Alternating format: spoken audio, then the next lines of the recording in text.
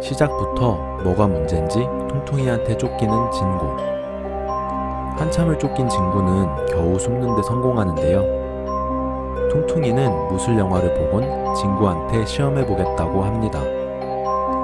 진구는 공중전화기에 숨어서 도라에몽에게 도와달라고 전화하는데 바쁜 일이 있어서 지금은 나갈 수 없다는 도라에몽. 그 바쁜 일은 단팥빵 퍼즐을 맞추는 겁니다. 대신에 아주 좋은 도구를 보내주겠다고 하는데요. 네 적이다 싶으면 어떤 녀석이든 다 처치할 거라며 주머니를 뒤집니다. 그리곤 수화기 너머로 진구를 지키라는 도라에몽의 목소리가 들리는데 그때 숨어있는 진구를 발견해서 노려보고 있는 퉁퉁이. 진구는 맞기 싫어서 또다시 도망쳐 보지만 결국은 퉁퉁이한테 붙잡혀서 깔리게 됩니다. 그 순간 도라에몽의 명을 받고 진구를 구하러 온 도구들. 퉁퉁이는 이게 널 구하러 온 게 맞냐며 비웃지만 작은 총으로 퉁퉁이를 공격하기 시작하는 장난감 군대. 그리곤 퉁퉁이가 새까맣게 타버릴 때까지 공격하는데요. 비둘기가 똥 싸서 진구 머리에 맞을 위기에도 뛰어난 능력으로 비둘기 똥을 공중에서 터뜨려 버리고 진구를 귀찮게 하는 모기도 한 방에 맞추는 정교함을 보여줍니다. 그 후 길 가던 중 사고로 건설 현장 자재가 진구를 향해서 쏟아지는데 그 큰 목재를 한순간에 증발시킬 정도로 화력도 세죠. 비실이가 던진 야구공이 진구에게 위협이 되자 야구공도 태워버립니다. 졸지에 공을 잃은 비실이는 당연히 진구에게 항의하지만 말만 했을 뿐인데 장난감 군대는 비실이를 공격하죠. 결국 비실이를 기절시키고 나서야 공격하기를 그만둡니다. 그 후로도 빵점 받았다고 진구에게 열심히 공부하라던 선생님도 이 꼴로 만들어버리고 진구에게 반갑다면서 어깨를 툭 치며 인사한 이슬이도 진구를 공격했다고 인식했는지 이 꼴로 만들어버리죠. 이건 공격한 게 아니라고 말해보지만 진구 말을 듣지 않는 도구들. 진구는 너무 위험한 도구라고 하면서 도라에몽에게 가는데요. 집에 도착한 진구에게 엄마는 왜 이렇게 늦었냐며 잔소리하고 그 소리를 듣곤 진구 엄마를 공격하러 오는 도구들. 그후 겨우 방까지 들어온 진구가 실수로 도라에몽의 퍼즐을 망가뜨립니다. 그러자 도라에몽은 무슨 짓이냐며 진구에게 화를 내는데 도구들은 명령을 내렸던 도라에몽도 서슴지 않고 공격을 퍼붓습니다. 123.9마력을 자랑하는 도라에몽도 한 방에 기절해버리죠. 게다가 얼마나 집요한지 지붕으로 도망치는 엄마 잡으려고 쫓아가는데요. 막강한 공격력에 융통성도 없어서 많은 사상자를 내는 도구였습니다. 쓸데없는 물건을 정리한다며 창고를 치우는 엄마. 친구는 자기 만화책을 들곤 냅다 도망치는데요. 엄마가 만화책을 버릴 거라고 하면서 도라에몽에게 도움을 청하죠. 도라에몽은 진구를 위해 주머니를 뒤지는데 도라에몽이 카메라로 만화책을 찍자 만화책이 한순간에 사라져 버립니다. 방에 들어온 엄마는 만화책이 어딨냐고 하지만 발뺌하는 진구. 어리둥절해진 엄마는 방 밖으로 나가고 진구는 기뻐합니다. 만화책은 어디 갔냐는 진구의 질문에 카메라를 열어 보이는 도라에몽. 그리곤 카메라에서 나온 사진 속에 만화책이 있다고 하는데요. 따뜻한 물을 부으면 원래대로 돌아오는 도구라고 합니다. 그 후 진구는 엄마를 도와서 순식간에 정리를 끝내죠. 진구는 이렇게 좋은 걸 혼자 쓰기 아깝다며 사람들을 도와주자는데 돈을 받고 하겠다는 걸 말리는 도라에몽. 진구는 잔소리하는 도라에몽이 귀찮았는지 사진기로 찍어버립니다. 아무리 도라에몽이라도 다른 차원에 갇혀서 혼자선 빠져나올 수가 없죠. 그후 진구는 돈 받고 아이들 물건을 보관해 줍니다. 그런데 물건뿐 아니라 강아지도 사진 속에 보관하고 심지어 퉁퉁이는 엄마를 사진 속에 봉인해 달라고 하죠. 친구는 사진들을 어디에 둘까 고민하다가 앨범에 넣기로 합니다. 그 후 엄마는 손님 대접하려고 차 가지고 오다가 넘어지고 뜨거운 물이 앨범에 쏟아지게 되는데 그 순간 봉인이 풀리면서 대참사가 벌어집니다. 이를 알게 된 친구는 혼날까봐 자기 스스로를 사진 속에 넣는데 열려있던 문틈 사이로 바람이 불면서 날아가 버리게 되죠. 친구가 사진으로 변해서 도망치는 걸 눈치챈 도라에몽. 그리곤 따뜻한 물이 없으면 돌아올 수 없다며 큰일 났다고 합니다. 그때 밖으로 나온 친구는 지나가던 사람의 발을 밟히는데 사진인 상태에서도 고통은 느껴지나 보네요. 도라에몽은 밤늦도록 친구를 찾아 헤매지만 사진에 갇혀서 하수구에 빠진 채로 자신을 부르는 친구의 목소리를 듣지 못합니다. 사진인 상태의 친구가 이대로 강까지 흘러가면 평생 돌아오기 힘들 것 같은데 친구는 과연 무사히 사람으로 돌아올 수 있을까요?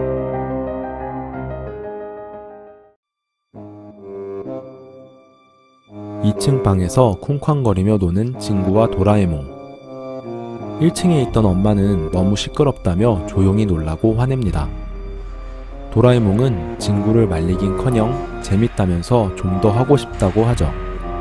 그리곤 3층에서 놀자고 하면서 주머니를 뒤지는데 이 도구를 사용해서 얼마든지 층수를 늘릴 수 있다고 합니다. 그러면서 조립식 블록을 3층으로 만드는 도라에몽. 그 순간 친구는 뭔가 울렁울렁하는 이상한 기분을 느낍니다. 방 밖으로 나가서 확인해보니 정말로 집이 3층으로 변했죠. 한 층이 더 늘어났으니 2층을 비워두고 3층에서 뛰어노는 아이들. 친구는 이슬이를 불러온다고 하고 밖으로 나가는데 블록은 4차원 공간이라서 집 밖에서 보면 평범하게 보인다고 합니다. 그 후 이슬이를 데려와서 비어있는 2층 방을 주죠. 도라에몽도 고양이 친구들을 데리고 와야겠다며 외출하는데 맘대로 블록을 만지지 말라고 신신당부를 하면서 나갑니다. 하지만 친구는 층수를 늘려서 아파트로 만들겠다고 하죠. 그리곤 4층으로 만들어서 3층 방을 비실이에게 주고 5층으로 만들어서 4층 방을 통통이에게 줍니다. 2층에선 이슬이 바이올린, 4층에선 퉁퉁이 노랫소리에 고통받는 비실이. 친구는 더 많은 층을 만든 후 비실이 방을 바꿔주죠. 또 친구는 영민이가 이슬이 방에 자주 들락거리는 게 싫은지 집을 마구 쌓기 시작하는데요. 무리해서 쌓다가 결국 집을 무너뜨리고 마는 친구. 다시 원래 순서대로 만드는 데에는 성공하지만 실수로 퉁퉁이가 있던 층의 블록만 빠지게 됩니다. 그때 퉁퉁이는 아이들에게 노래 연습한 걸 들려주겠다며 계단을 내려가는데 어찌된 영문인지 밑으로 내려간 퉁퉁이가 위에서 내려옵니다. 아무리 내려가도 다시 같은 장소로 돌아오는 퉁퉁이. 그 와중에 엄마는 친구가 또 사고 친 걸 알고 잡으러 올라오는데 친구는 엄마가 올라오지 못하게 계속 층을 늘려가고 결국 기진맥진해서 계단에서 기절해버린 엄마.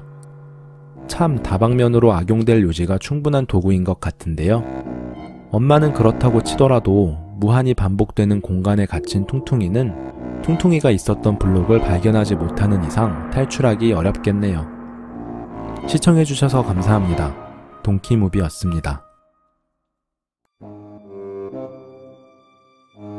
책방에서 사지도 않은 만화책을 보고 있는 진구. 책방 주인은 그런 진구가 띠꺼웠는지 방해를 하고 결국 진구는 쫓겨나게 됩니다. 잠시 후 만화책방에서 쇼핑을 하고 나오는 비실이. 만화책을 10권이나 샀다면서 자랑하죠. 집에 온 진구는 돈 많은 비실이가 부러운지 세상은 불공평하다면서 이 잘못된 세상을 모두 공평하게 만드는 기계는 없냐고 합니다. 도라에몽은 물론 있다면서 주머니를 뒤지는데 이름만 들어도 기분이 팍팍 나빠지는 도구를 꺼낸 도라에몽. 사람들이 받는 용돈에서 세금을 떼어가는 도구라고 합니다.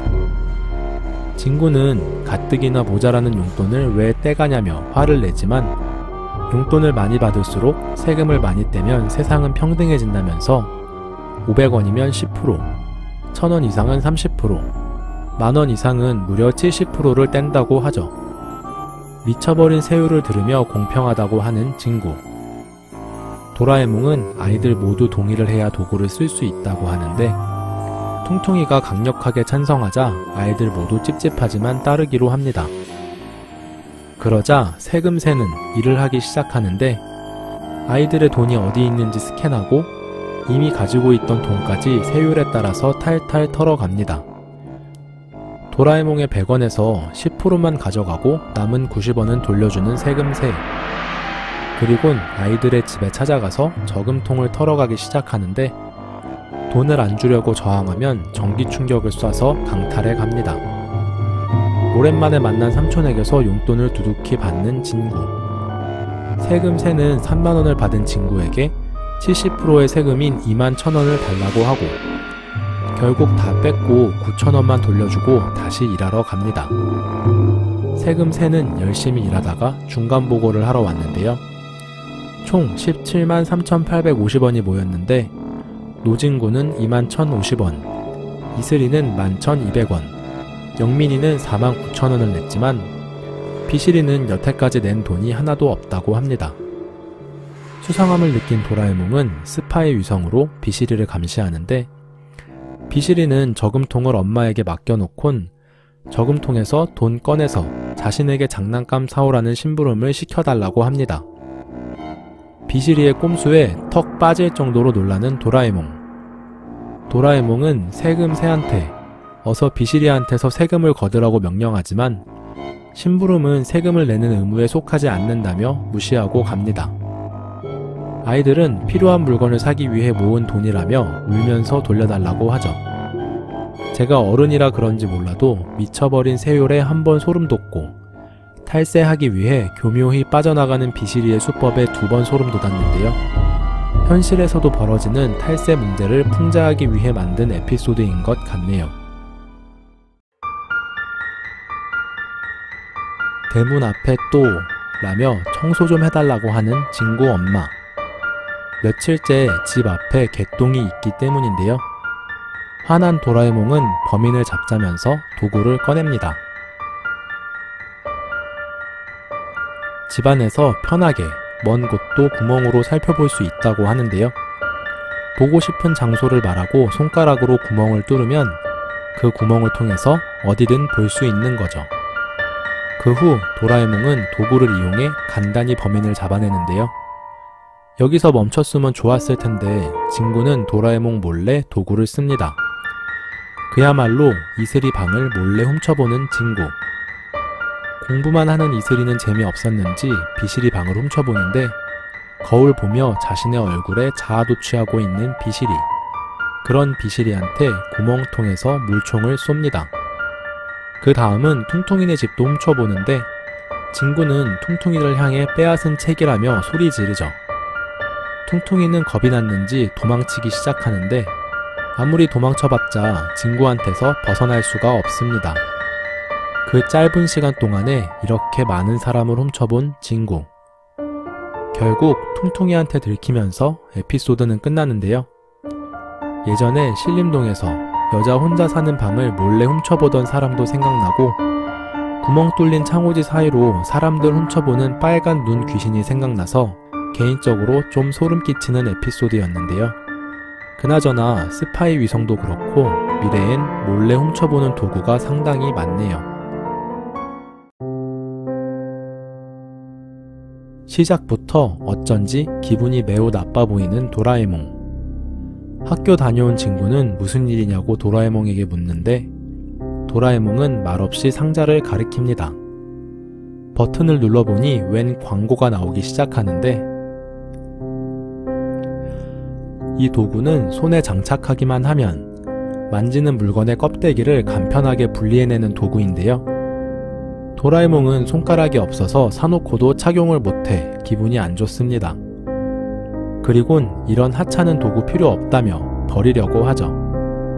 하지만 진구가 말리면서 자신이 한번 사용해 보겠다고 하는데 착용하고 손만 댔을 뿐인데 귤 껍질이 한순간에 벗겨지고 파인애플도 깔끔하게 껍질과 과육이 분리됩니다. 지켜보던 도라에몽은 자신은 못 써서 슬픈지 울면서 나가는데요. 진구는 도라에몽이 나간 후 이것저것 시험해 봅니다. 과일뿐 아니라 연필도 심과 껍질이 분리되고 시계도 한순간에 분리돼 버리죠. 신기해하며 이것저것 분해하고 다니다가 이슬이에게 전화가 오는데 도구 착용한 걸 까먹고 오른손으로 받았다가 전화기도 분해됩니다.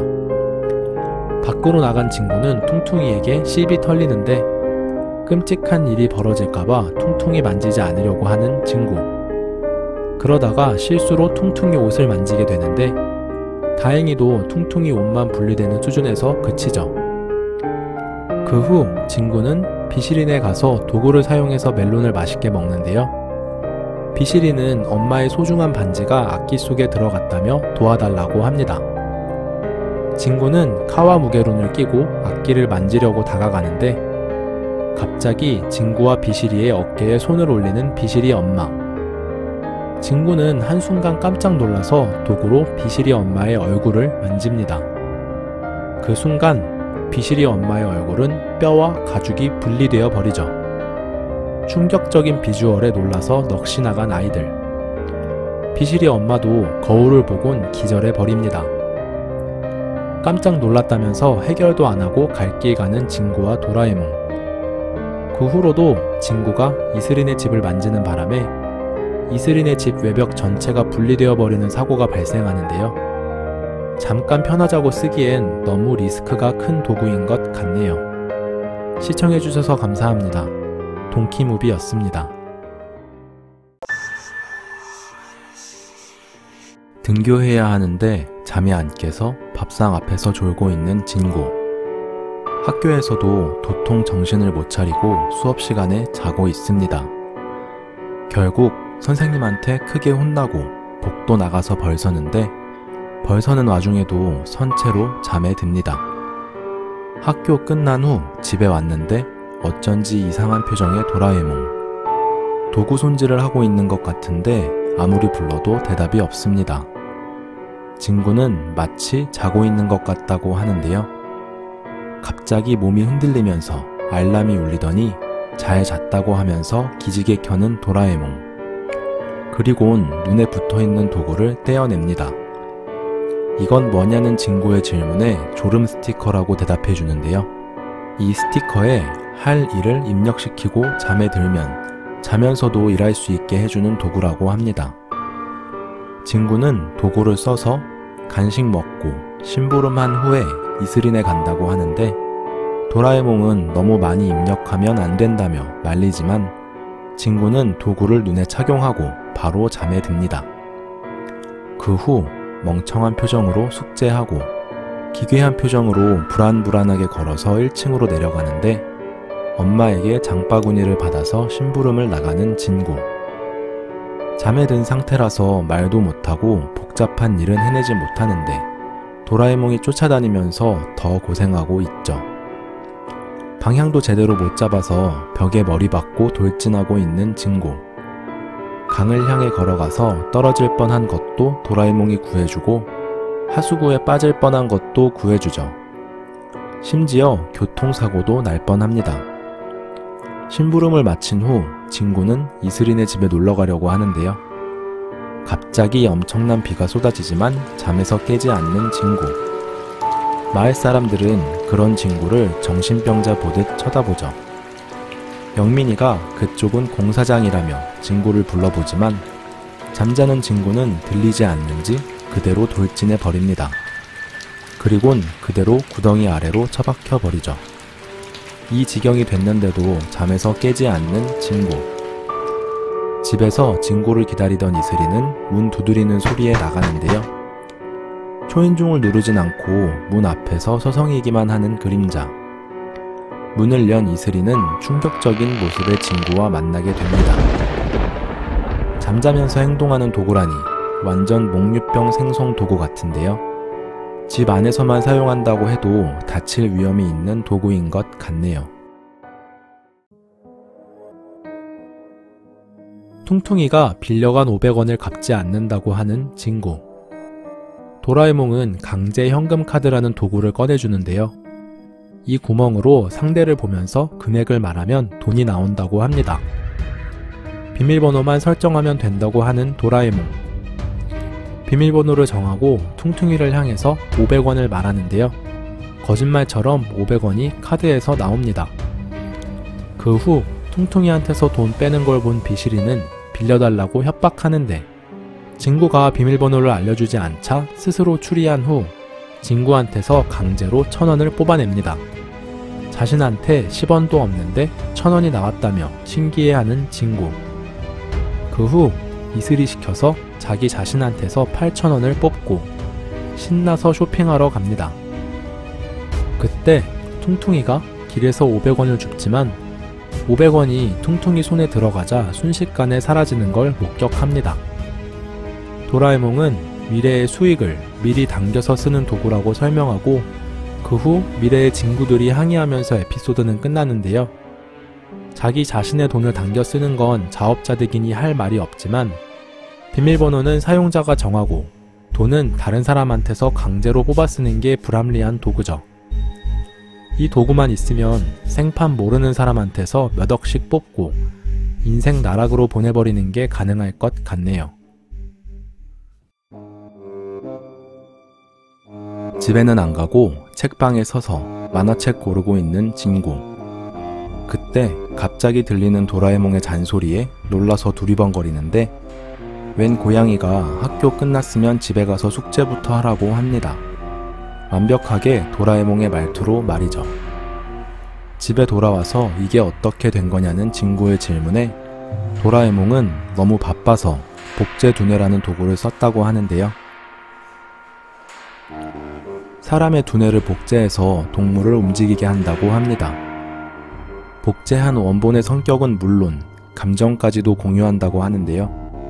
복제 두뇌를 떼어내자 평범한 고양이로 돌아갑니다. 그때 집에서 뒹굴거릴 거면 심부름 좀 다녀오라는 엄마.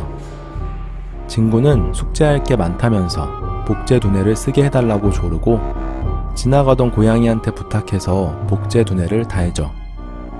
고양이는 진구의 명령으로 심부름하러 가려고 하다가 성격이랑 행동까지 완전 진구화돼서 심부름 안 하고 낮잠 잡니다. 도라에몽은 자신이 심부름 가겠다는 의지가 확고해야 된다고 하는데요.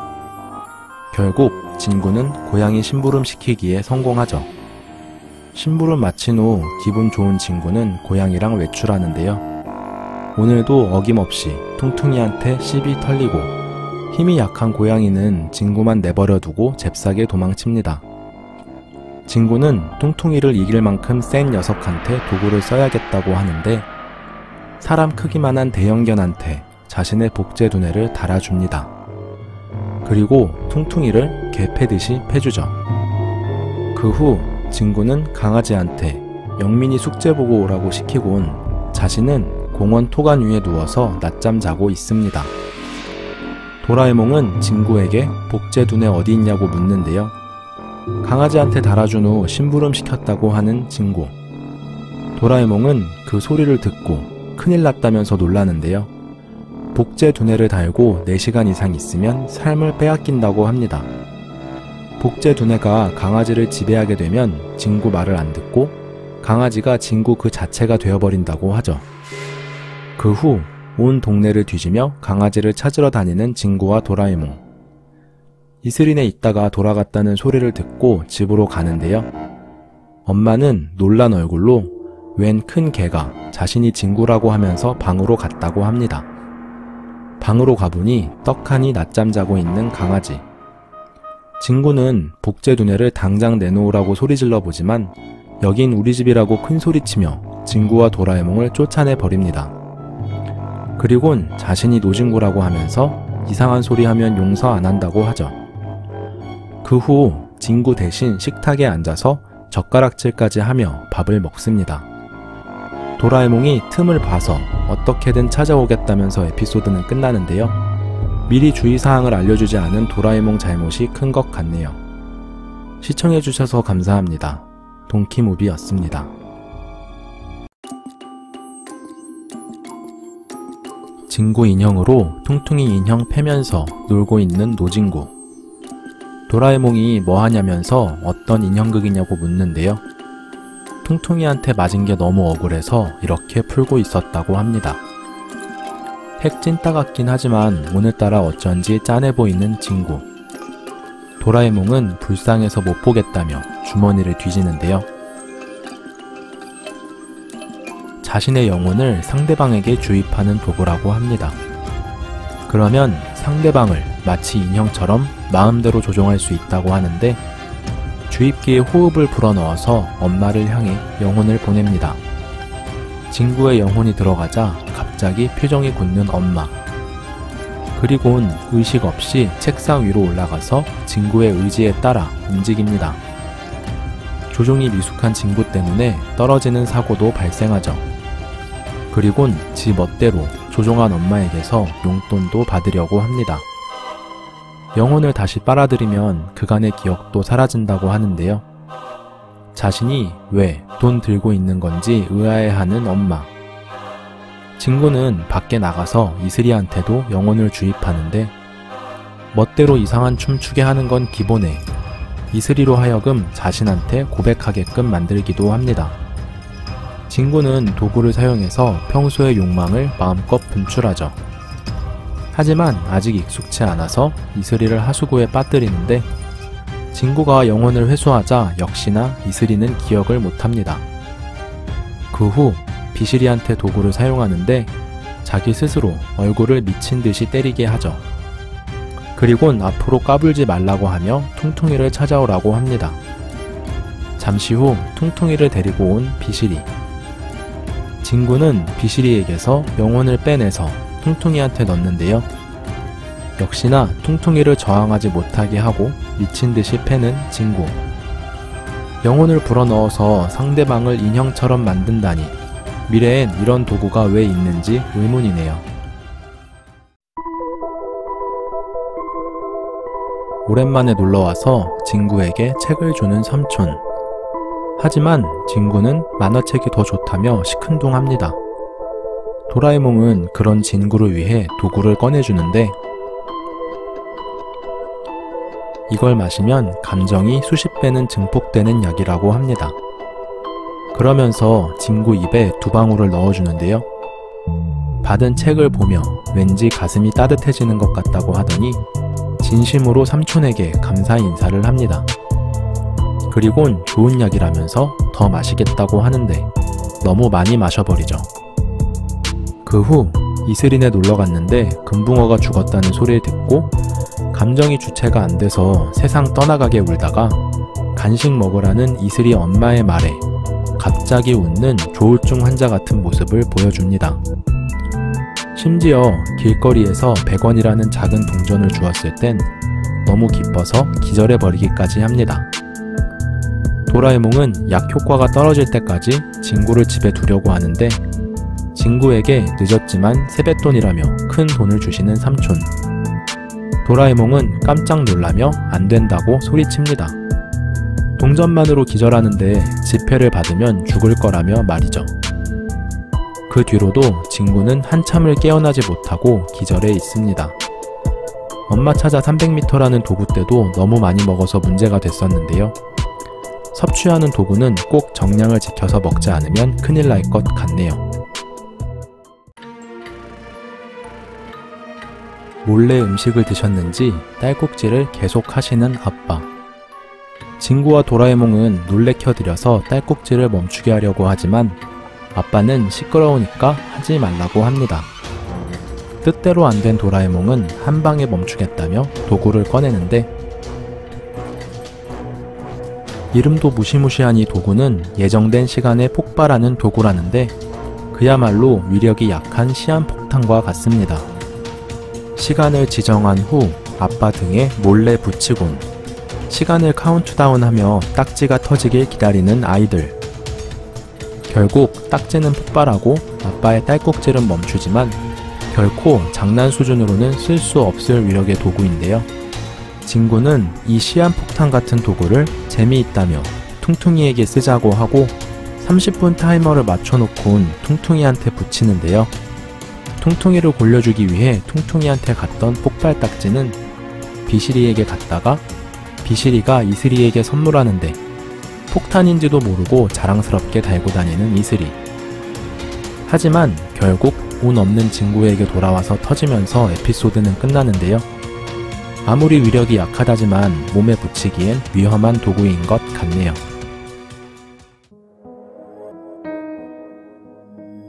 뭔가를 열심히 만들어 보지만 뜻대로 되지 않는 친구. 미술 숙제로 만들기를 하는데 손재주가 없는 친구는 고생만 하죠. 엄마한테 도와달라고 하지만 바쁘다고 하시면서 장 보러 가고 친구는 괜히 도라에몽에게 도움이 안 된다면서 화풀이를 합니다. 친구의 도발이 먹혔는지 주머니에서 도구를 찾는 도라에몽. 이 도구는 동네 엄마들을 네트워크에 등록한 후에 필요할 때마다 마음대로 불러서 쓸 수 있는 도구라고 합니다. 그리곤 각자 엄마에게 다르라면서 아이들에게 호출기와 수신기를 주죠. 장보는 엄마의 머리 위에 직접 수신기를 다는 친구. 그 후 집에 온 친구는 호출기에 대고 미술 숙제 도와줄 엄마를 찾는다고 하는데 퉁퉁이 엄마가 당첨됐습니다. 그러자 퉁퉁이 엄마는 집에서 쉬다 말고 갑자기 끌려나가는데요. 영문도 모른 채 친구 집에 와서 만들기 숙제를 해주죠. 그때 퉁퉁이는 나가 놀고 싶다며 대신 가게 봐줄 엄마를 찾고 이번엔 비실이 엄마가 당첨됐네요. 그러자 부잣집 사모님인 비실이 엄마도 갑자기 끌려나가고 진주 목걸이 찬 어색한 모습으로 퉁퉁이 가게를 봐줍니다. 비실이는 배가 고프니까 맛있는 간식 만들어줄 엄마를 찾고 이번엔 이슬이 엄마가 당첨되는데 그때 치마 옆이 뜯어졌다며 도와달라는 이슬이. 하지만 당장 가야 할 곳이 있다며 이슬이는 버려두고 떠나버리죠. 그리곤 남의 집 아이 간식 만들어주고 있습니다. 이슬이는 친구 엄마 불러서 치마 수선 맡기고 있죠. 결국 도라에몽은 엄마들한테 도구 쓴 걸 걸려서 사죄하고 엄마 네트에 아이들을 등록해서 애들한테 일 시키며 에피소드는 끝나는데요. 미래에는 일해줄 로봇도 많을 텐데 왜 굳이 남의 엄마를 도구처럼 부려먹는 물건이 존재하는지 모르겠네요. 시청해주셔서 감사합니다. 동키무비였습니다. 진구 이야기가 재미없는지 시큰둥한 이슬이.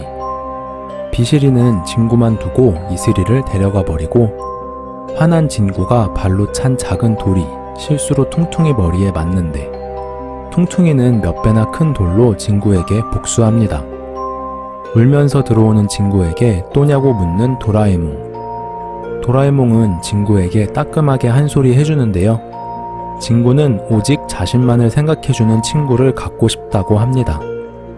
도라에몽은 원한다면 꺼내준다면서 주머니를 뒤지는데 오직 진구만을 따르는 충실한 친구 로봇을 꺼내주죠. 친구가 될 사람을 바라보게 하고 스위치를 누르기만 하면 자동으로 인식이 되는 간단한 도구인데요. 도라에몽은 이게 꼭 너에게 좋다고만 할 수는 없다고 합니다. 하지만 친구가 잔소리 듣기 싫다고 하자 도라에몽을 쫓아내버리는 충견 로봇. 친구는 그런 충견 로봇에게 칭찬을 해주죠. 그 뒤로도 뭐든지 돕겠다며 친구 주위를 돌더니 낮잠 자라고 이불까지 꺼내줍니다. 그 뒤 대낮부터 누워있다고 엄마에게 혼나는 진구. 하지만 충견 로봇은 진구에게 싫은 소리 하는 엄마를 쫓아버리죠. 진구는 엄마의 치마를 찢을 정도로 위협적인 모습에 당황하는데요. 잠깐 밖에 산책 나올 때도 진구가 좋은지 온갖 애교를 부리지만 진구를 무시하는 아이들에겐 지나치게 공격적인 모습을 보입니다. 길 가다가 퉁퉁이를 마주쳐서 멱살을 잡혔을 때도 로봇은 퉁퉁이를 물어 뜯어서 적골로 만들어 놓고 진구를 보며 웃죠. 무서워진 진구는 충견 로봇이 싫어졌다며 도망치려 하지만 충견 로봇한테서 벗어날 수는 없는데요. 그때 지나가는 이슬이를 본 진구. 로봇은 진구의 눈빛을 보곤 이슬이를 강제로 끌고 오는데 이슬이가 거부하자 반죽음 상태로 만들어서 입에 문 채로 끌고 옵니다. 이슬이는 진구랑 다신 얼굴도 안 볼 거라며 떠나버리고 진구는 이슬이에게 버림받아서 죽고 싶다고 말하는데 죽고 싶다는 말에 로봇은 진구가 목매고 자살할 수 있게 매듭 묶인 줄까지 가져다 주면서 에피소드는 끝나는데요. 원작에서의 이런 모습이 너무 사이코패스 같았는지 애니메이션 버전에서 심한 부분은 삭제되고 엔딩 내용은 바뀌었는데요. 이게 과연 친구가 원하던 진짜 친구의 모습이었는지는 의문이네요. 시청해주셔서 감사합니다. 동키무비였습니다.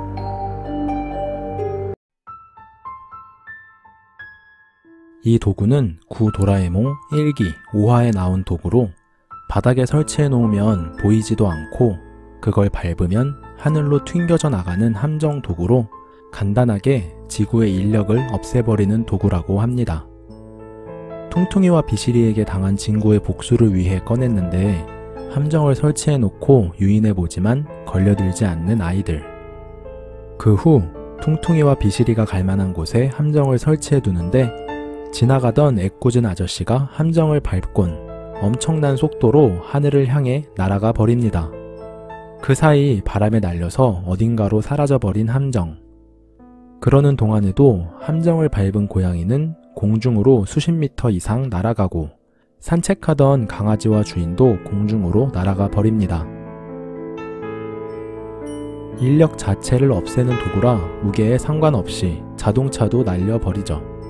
진구와 도라에몽이 발견해서 붙잡았기에 망정이지 조금만 늦었어도 운전자는 자동차 속에서 즉사할 뻔 했는데요. 인력을 없애는 도구라니 미래에선 이런 도구를 도대체 어떻게 만들어내는 걸까요? 이 도구는 만화책 41권에 나온 도구로 다 같이 바다에 갔을 때 진구가 수영을 못한다고 징징대서 꺼낸 도구죠.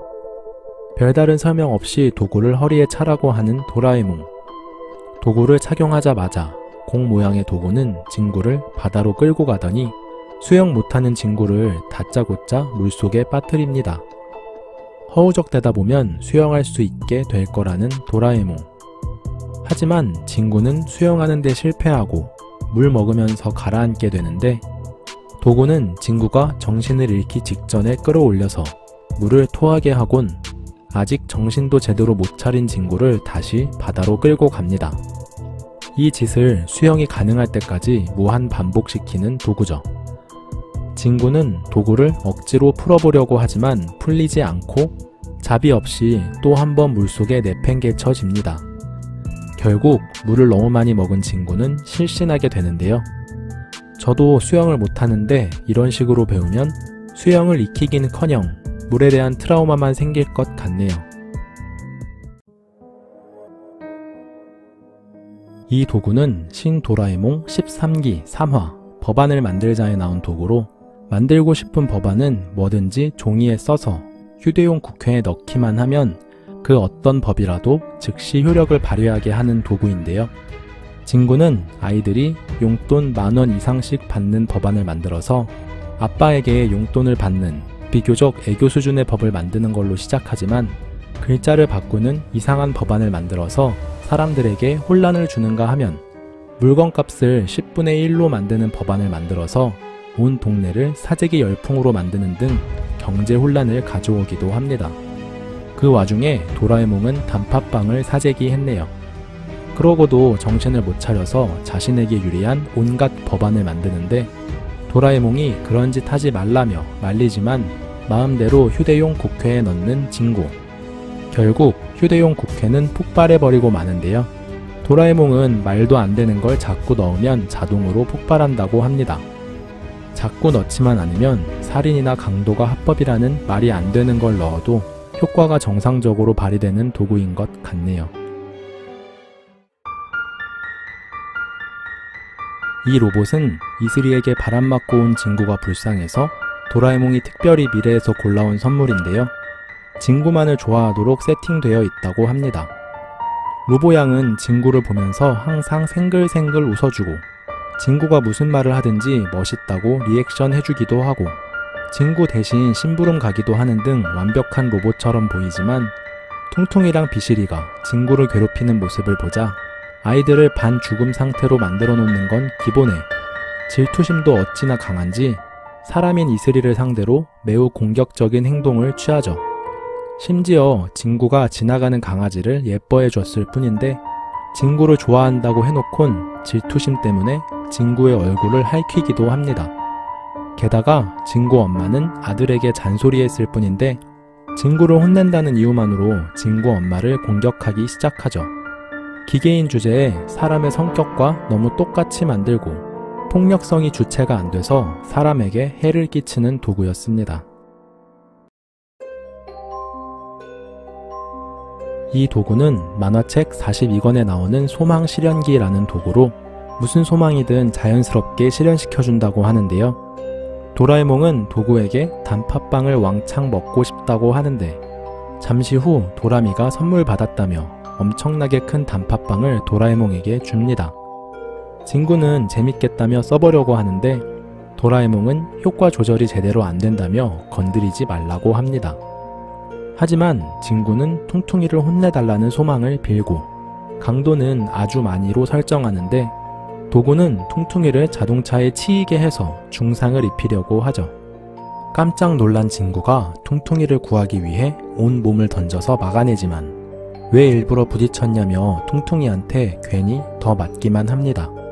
그 후 제주도 해물 칼국수가 먹고 싶다는 소망을 말했을 땐 아빠가 제주도로 발령나서 온 가족이 제주도로 이사갈 뻔하고 내일 시험 보기 싫다는 소망을 말했을 땐 서울에 대지진이 발생해서 건물도 무너지고 희생자도 수백만 명이 생기는 미래를 타임TV를 통해서 확인하는데요.